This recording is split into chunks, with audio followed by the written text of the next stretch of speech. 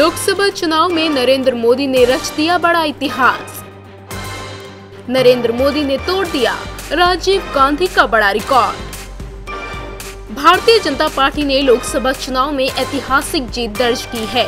प्रधानमंत्री नरेंद्र मोदी लगातार दूसरी बार बीजेपी की पूर्ण बहुमत वाली सरकार बनाने जा रहे हैं।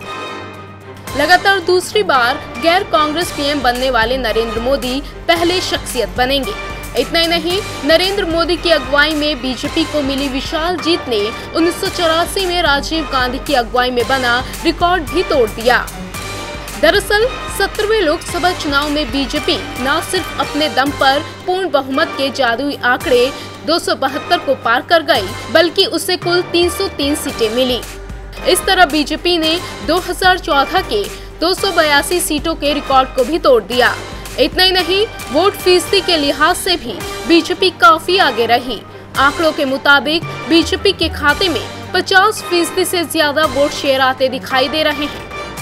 ये वो आंकड़ा है जिसे अब तक कोई भी पार्टी आज़ाद भारत के आम चुनाव में नहीं छुपाई है। वैसे अब तक सबसे ज़्यादा वोट शेयर पाने का रिकॉर्ड पूर्व प्रधानमंत्री राजीव गांधी के नाम था। साल उन्नीस सौ चौरासी में तत्कालीन प्रधानमंत्री इंदिरा गांधी की हत्या के बाद जब लोकसभा चुनाव हुए तो कांग्रेस ने पूरे देश में एक तरफा जीत हासिल की। कांग्रेस ने 48.1 फ़ीसदी वोट शेयर के साथ रिकॉर्ड 400 से ज़्यादा सीटें अपने दम पर जीती थी।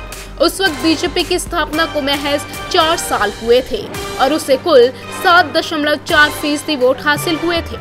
इतना ही नहीं, नरेंद्र मोदी दूसरी बार पूर्ण बहुमत की सरकार के साथ प्रधानमंत्री बनने जा रहे हैं।